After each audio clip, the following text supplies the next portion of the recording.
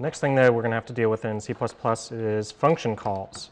So functions are basically methods from Java, same idea, just different names. Um, so if I want to not do everything in my main method, which is probably a good plan, um, I can declare another function. For example, let's say I want to create a power function. What I do to declare that is I give it some sort of type I'm going to return, for example, a float. I'm going to call mine pow, because you know Java has math.pow, so C++ should have pow as well.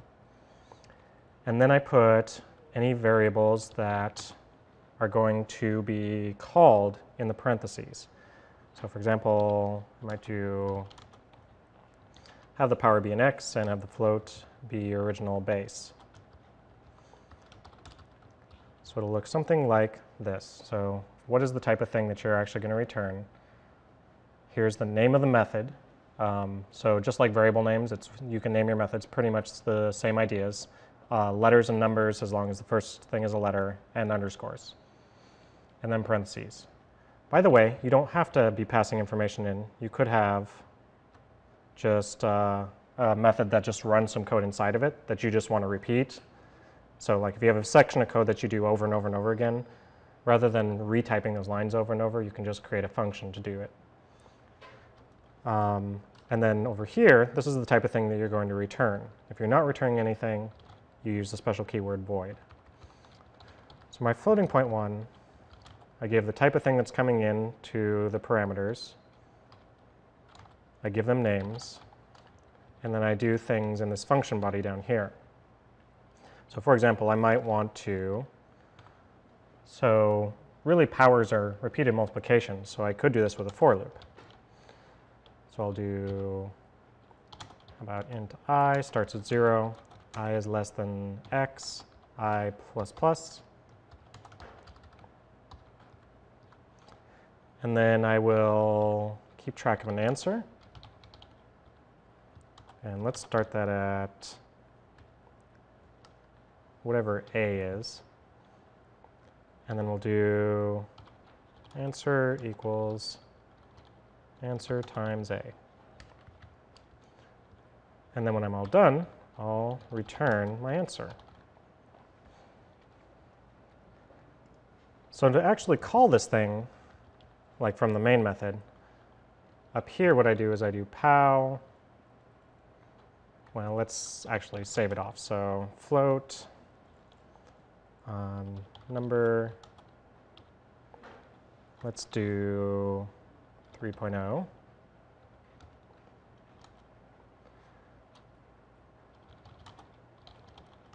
I'll have the power be 2, and actually that has to be an int. The types have to match. And then we'll have result equal pow number power.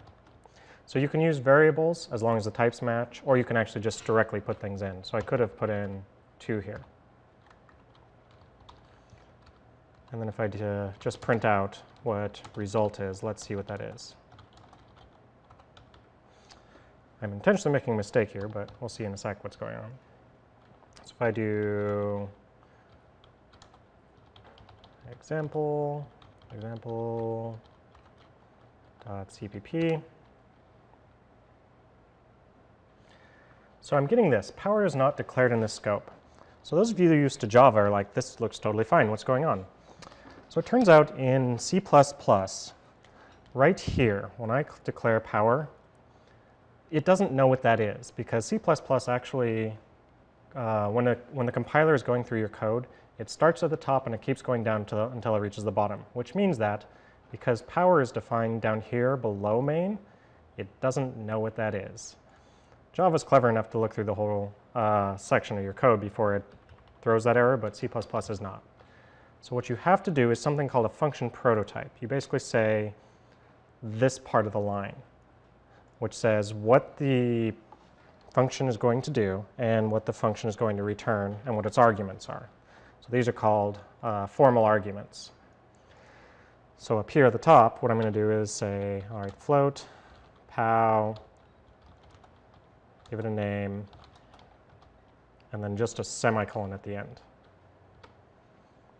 So this is a function prototype. Now I'm allowed to use power, and it's going to assume that it's there uh, when it gets to it. So if I go over here now, now it compiles fine.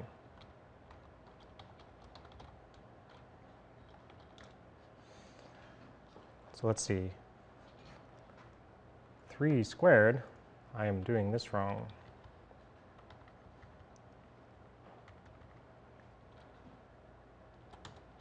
It's actually got to be 1 less than that. There we go. And does this give me 27 when I test it out? All right, so there we go. Because we started zero, I have to go up till one less. Um, all right, so that gives me um, functions. And so one thing to note is that this thing here, this is called an actual parameter, where these are the formal parameters, or arguments is another name for it. In Java, we call them parameters. In um, C++, they're often called arguments. So the formal arguments are the type and what variable name you're going to assign to it. So whatever this thing up here is, number, it get, gets reassigned the name a inside of power. It actually makes a copy of it, to be honest. So a gets a copy of whatever's inside number, and then you can do things in here.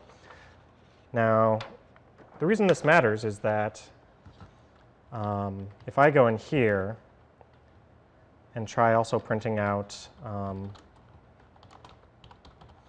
number is, and let's put it in the answer is,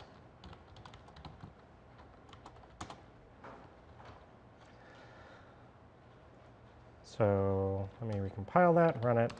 So the number I'm starting with is 3 here, this number right there.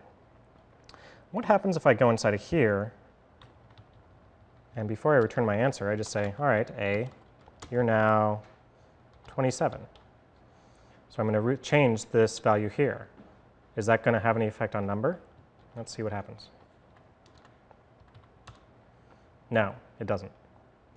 So because this is a copy of things, um, if I change any of these things, a and x, any of these uh, parameters, it doesn't actually change the original value outside here. The actual parameters are not touched. You can mess with the formal parameters all you want, and as soon as you leave the method, then it goes back to its original form. Um, oh, one other thing I should probably mention. Um, notice that for floating point, I return the answer when I'm all done. So if you're going to return something, make sure you do it. If you have a void and you just want to exit the method, you can just say return. That's a valid line. And if you get to the end bra uh, brace of the method before you have a return statement, it assumes you're just going to return.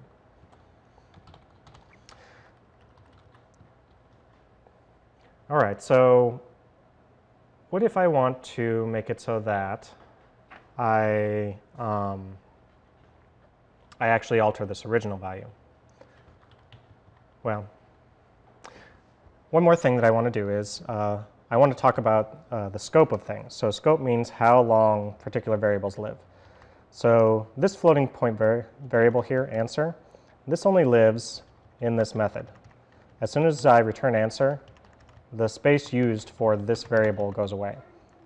If I create variables that I want to be used, be used throughout, generally speaking, you want to declare them outside of any particular method. So if I want to have a character array that everybody can use, oops, that's the Java version. So if I want to have this so that everybody can talk about input, I would actually declare it out here. So any global variables end up out here. Local variables can be declared inside of it. And actually, this is technically a local variable that only lives inside the for loop.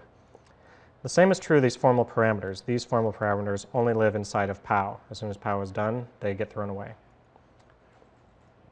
So what if I want to actually alter this original number value? Well, that's where the idea of passing by reference comes from. So what I'm doing here is I'm making copies when I pass it in. This is called passing by value. It takes a copy of the value, and puts it in there. So let me do a slightly different one.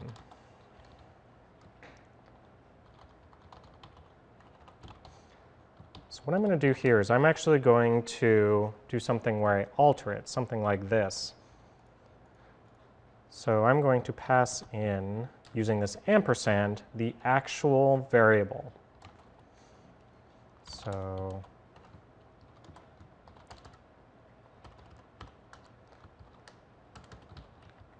this is an example of pass by reference. So I'm going to basically do the same sort of thing. i is 0, i is less than x, minus 1, i plus plus. Answer, I could do times equal, but I'll spell it out, so it's exactly the same. A is 27, return answer.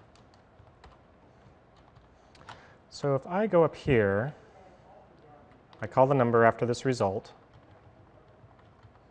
Let's try doing result is pow reference.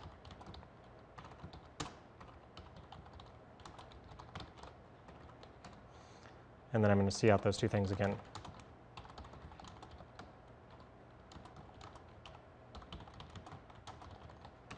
cout.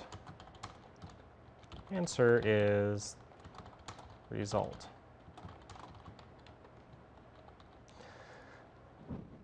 So that's saved. Pow reference is not declared. Oh yes, I've made a new uh, method. I should declare up here.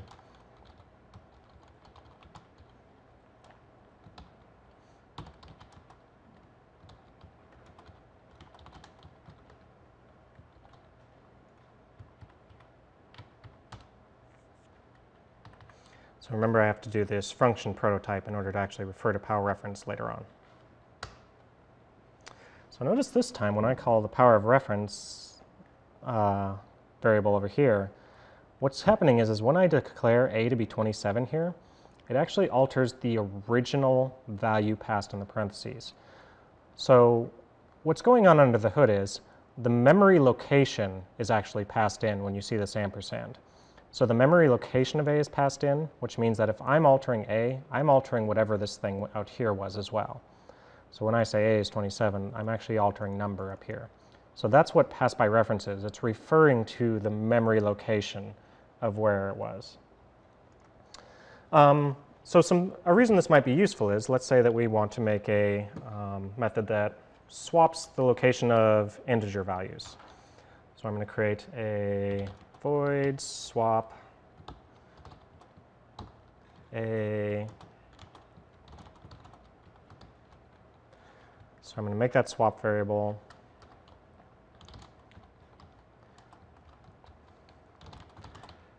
By the way, you are allowed to technically use different names here and here as long as the types match. A weird thing about C++.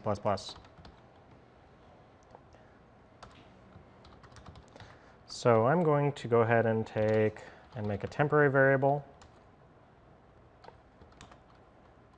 And I'm going to say a equals B, and B equals temp. And for an exercise, consider why I had to actually take three steps to do that. That's kind of interesting. So now if I go back up here,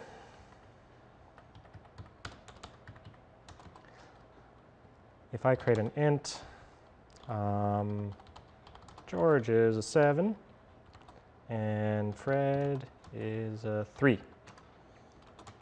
I swap George and Fred.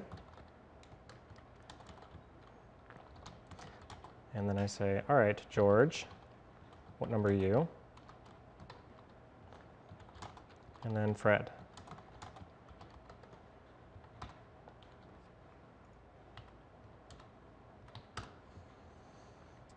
So I started with 7, 3, and then I do the swap. It actually alters the original position of George and Fred, even though it's done inside of this method because I'm changing their memory locations. And then it prints them out in the swapped order. All right, so that should get you started on the ability to use functions in your programs.